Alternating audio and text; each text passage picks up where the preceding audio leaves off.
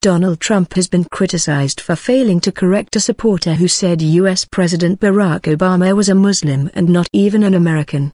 The Republican sought to laugh off the comment, which was preceded by the supporter saying, We have a problem in this country, it's called Muslims.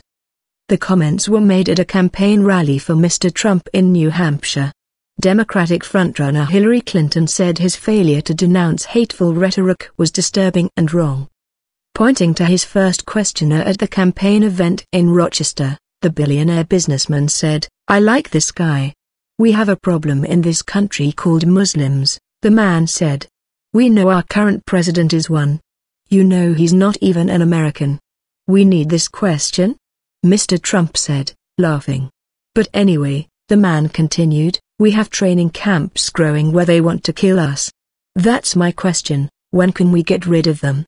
Mr. Trump failed to clarify that Mr. Obama is a Christian American, instead replying that bad things are happening and saying he would look into them.